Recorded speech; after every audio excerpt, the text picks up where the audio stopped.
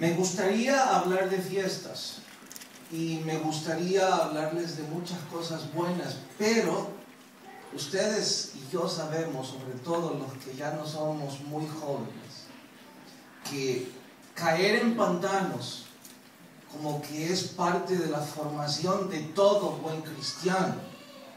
Yo llamo pantano a aquellos días de desaliento y oscuridad en donde todos sentimos que los problemas nos van a hundir. O tal vez ustedes nunca se han sentido así, pero son muchas las veces en que yo me he sentido así.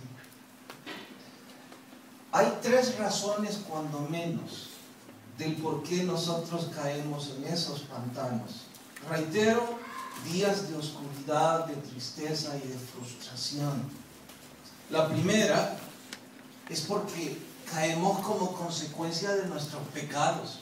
Pero de eso no tengo mucho que hablarles, porque todos los hemos experimentado y hemos tenido que saborear las consecuencias de esos pecados. La segunda razón por la que caemos es como consecuencia de una prueba que el cielo quiere poner en nuestras vidas para hacernos crecer.